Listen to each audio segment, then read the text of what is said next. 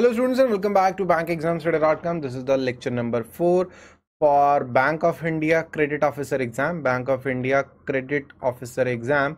In this series I am sharing the important numerical questions for the Bank of India Credit Officer exam. So today the topic is the ratio analysis.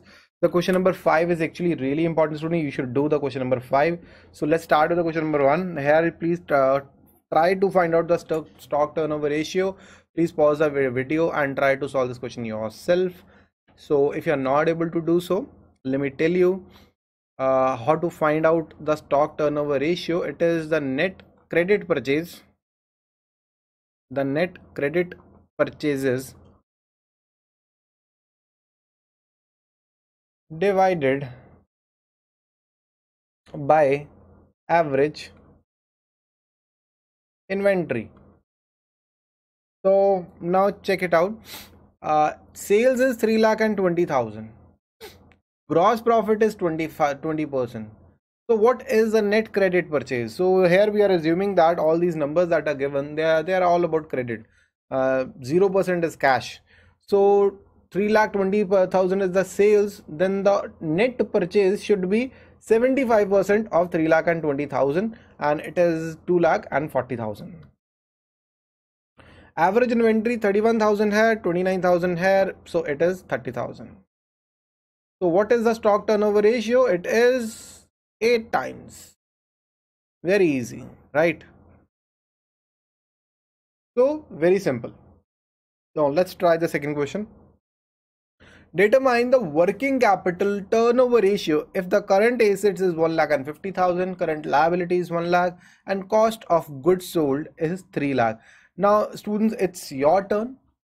Working capital i hope you, should be able to calculate the working capital. It is current assets minus current liability so it is 1 lakh 50000 minus 1 lakh. I hope you should be able to solve this. It is just 50000 and cost of goods sold cogs is 3 lakh so the working capital turnover ratio is COGS divided by the working capital. It is simple 3 lakh rupees divided by 50,000.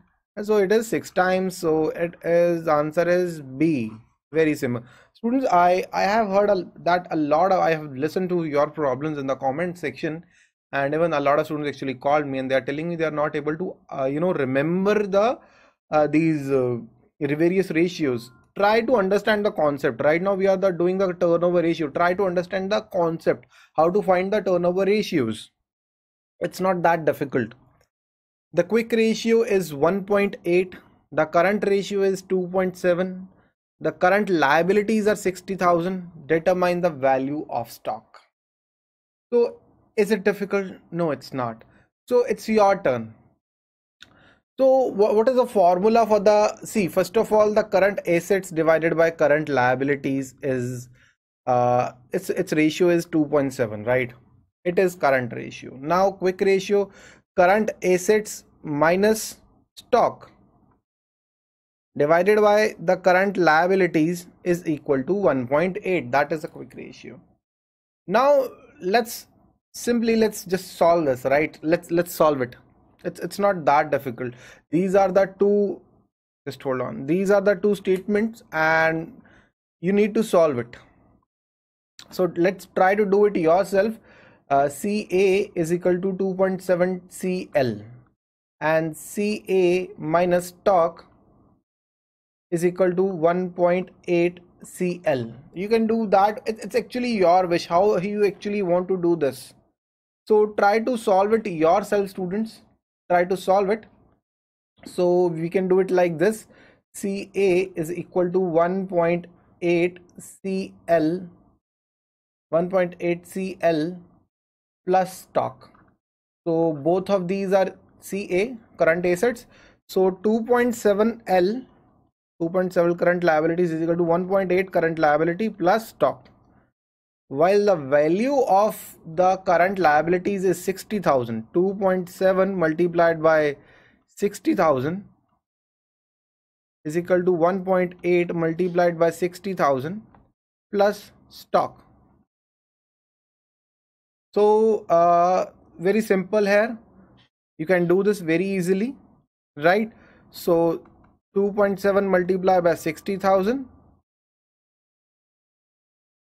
minus 1.8 multiplied by 60,000 is equal to stock.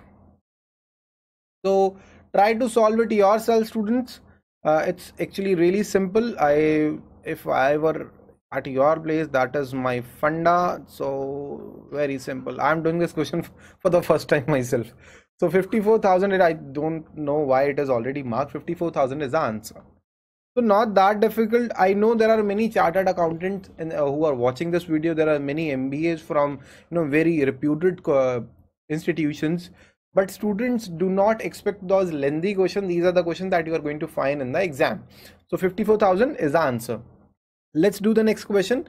The following information uh, for the uh, is available for a company.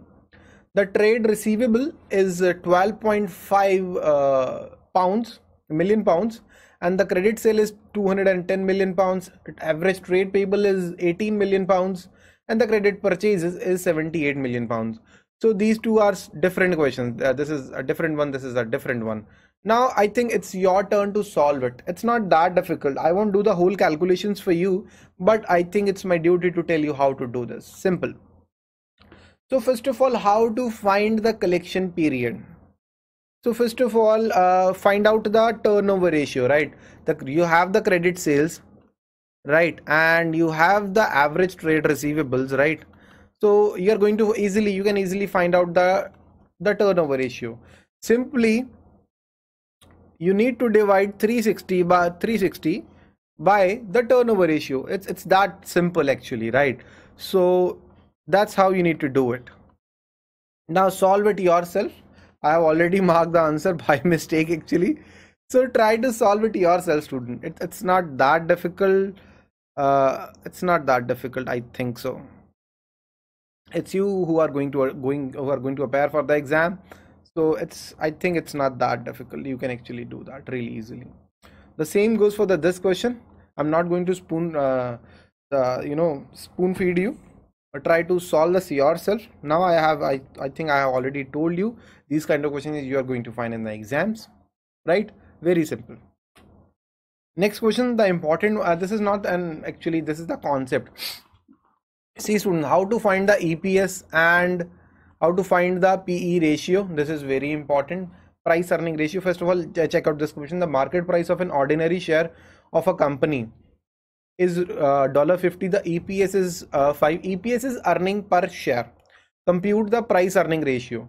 The market price of the share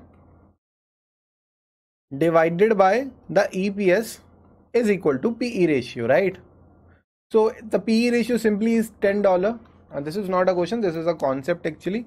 So that's how we calculate the PE ratio. Now let's check out the next question market price per share of a firm having a equity capital is 1 lakh rupees consisting of rupees 10 per share. So EPS is 1 lakh divided by rupees 10 it, it comes to rupees 10,000